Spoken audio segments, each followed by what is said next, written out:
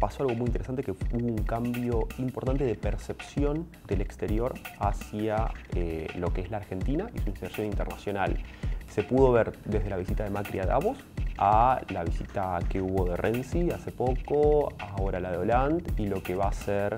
eh, la visita de Obama, que son visitas de alto nivel que no habían, no, habían habido en los últimos años en el país, que dan cuenta de una idea de una apertura de la Argentina al mundo, con una perspectiva de un país eh, más inserto y más abierto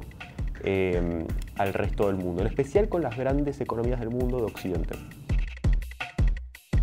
Las oportunidades son varias que justamente son las puertas, que, no necesariamente puertas, no se abren las puertas en sí, pero son oportunidades de que el otro ahora está dispuesto a sentarse, a dialogar y a negociar un montón de cosas con la Argentina. Em, ahí yo veo tres cosas. Primero, eh, la situación de Brasil, aunque digamos no es muy positiva para la economía brasilera y es el principal socio comercial de Argentina, sí abre muchas oportunidades para, ver a la Argentina desde afuera como un interlocutor importante a nivel regional. Brasil ha sido durante los 10 últimos 15 años el interlocutor de América Latina, la principal economía. Entonces todos quienes querían hacer negocios o dialogar con la región iban primero a sentarse con Brasil. Ahora Brasil no está en esa situación, está muy ensimismado en lo que está pasando adentro y la Argentina con estos cambios empieza a ser vista como, bueno, tal vez si queremos hacer algo con la región, la Argentina podría ser una buena opción. Después, todo lo que se está eh, hablando sobre eh, un potencial acuerdo con la Unión Europea, la potencial propuesta que puede haber por parte del Mercosur,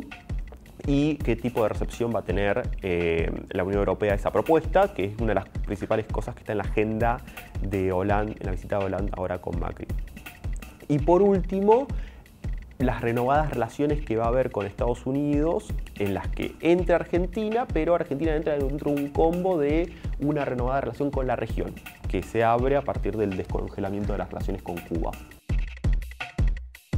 Los desafíos tienen que ver mucho con eh, la región en la que está inserta, que no es una eh, región que está pasando por un buen momento eh, ahora, con la situación económica de Brasil, lo que está pasando con Venezuela y con algunas herencias que trae de otros gobiernos, no necesariamente del último, pero que, bueno, digamos, a largo plazo una inserción madura y estable y fuerte con el resto del mundo implica ciertas instituciones que se construyen a través del tiempo, un cuerpo profesional de diplomáticos y técnicos que también se forman durante el tiempo, no es que solamente con la llegada de un nuevo gobierno las cosas comienzan a, ser diferentes, pero esos son como los principales desafíos que va a tener.